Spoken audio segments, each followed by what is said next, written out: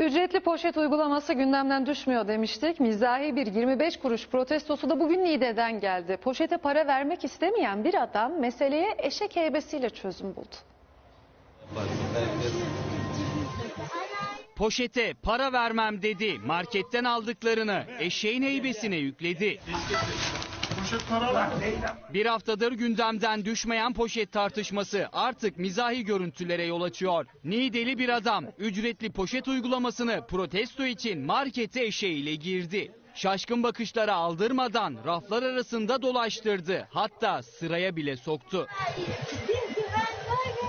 Aldıklarını eşeğin heybesine yükleyen adam parasını ödeyip marketten ayrıldı. Akıllardaysa görevliler eşeğin markete girmesine nasıl izin verdi sorusu kaldı.